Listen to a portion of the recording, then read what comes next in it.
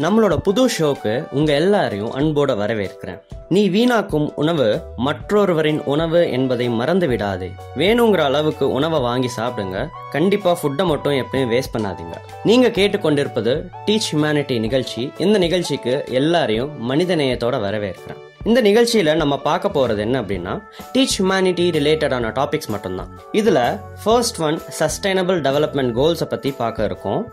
அதுக்கு முன்னாடி நான் உங்கள் RJ Gautham Sakthi from relax radio India நம்ம முதல்ல சஸ்டைனபிலிட்டி அப்படின்னா என்னன்னு பார்க்கலாம். அதாவது நமக்கு கிடைக்கிற ரிசோர்சஸ் எல்லாத்தையும் ரினியூவபிள் நான் ரினியூவபிள் அப்படின்னு சொல்லி ரெண்டாக பிரிக்கலாம். இதில் ரெண்டு சில ரிசோர்சஸ்லாம் இருக்குது நேச்சுரலாகவும் கிடைக்கும் உருவாக்கவும் முடியும் நம்மளால. அப்படி நேச்சுரலாக கிடைக்கிற ரிசோர்சஸ் பார்த்தோம்னா சோலார் எனர்ஜி விண்ட் எனர்ஜி இதெல்லாம் நமக்கு நிறைய வருஷத்துக்கு கண்டிப்பாக கிடைச்சிட்டே இருக்கும். பட் இதுலேயே கோல் பெட்ரோலியம்லாம் உருவாக்கவே ரொம்ப வருஷம் ஆகும். அது நம்ம உருவாக்க முடியாது அதுவாக உருவாகும்.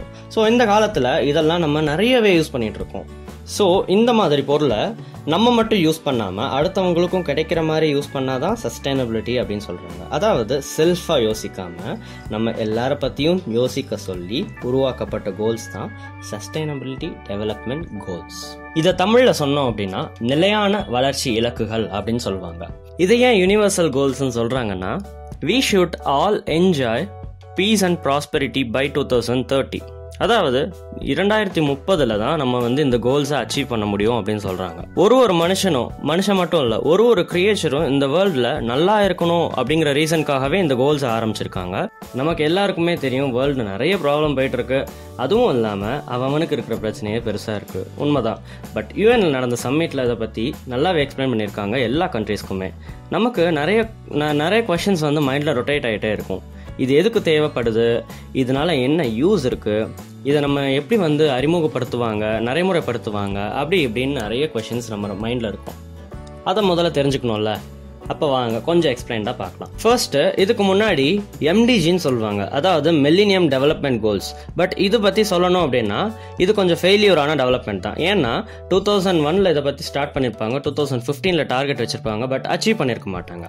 அதாவது அண்டார்டிகா நார்த் போல் கண்ட்ரிஸ் பார்த்தோம் அப்படின்னா ஐஸ் எல்லாம் அந்த வெப்பச்சலனம் காரணமாக என்ன ஆகுதுன்னா தண்ணியாக மாறிட்டு இருக்கு அப்படின்னு சொல்கிறாங்க அதே மாதிரி நிறைய ஃபாரஸ்ட் பார்த்தீங்கன்னா ஹீட்னால தீப்பிடிச்சி எரியுது அப்படின்னு சொல்கிறாங்க இதெல்லாம் வந்து கிளைமேட் சேஞ்ச் தான் ரீசன் அப்படின்னு சொல்கிறாங்க இப்போ ரீசெண்டாக பார்த்தீங்கன்னா கோவிட் நைன்டீன்னால் நம்மளுக்கு ஹெல்த் கேர் சிஸ்டம் வந்து ஃபெயில்யூர் அப்படிங்கிற ஒரு ரீசன் நல்லாவே புரியுது.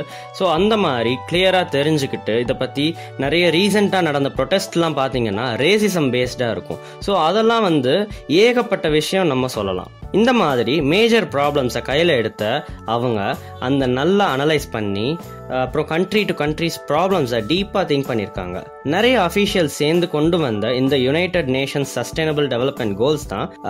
எவ்வளோ கோல்ஸ் இருக்குது அப்படின்னு பார்த்தீங்கன்னா மொத்தமாக பதினேழு கோல்ஸ் இருக்குங்க.